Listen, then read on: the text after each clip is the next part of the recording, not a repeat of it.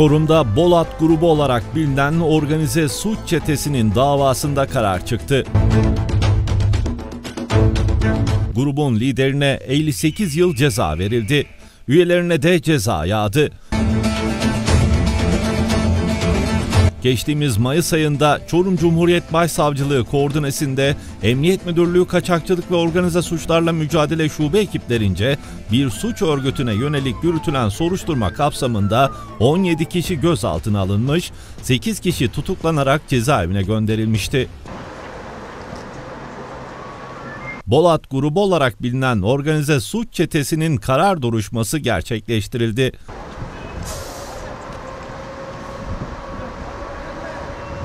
Mahkeme suç çetesi liderine suç örgütü kurma yönetme, bu örgüte üye olma, örgüte yardım etme nitelikli yağma suçlarından 58 yıl ceza verdi.